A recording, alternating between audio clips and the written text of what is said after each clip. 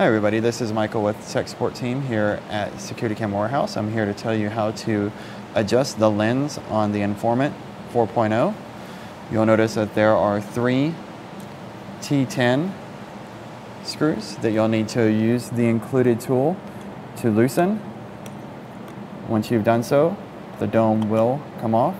There is a safety string to hold the cover in place as you adjust. You will also need a Phillips head screwdriver to loosen the set screw for the lens itself.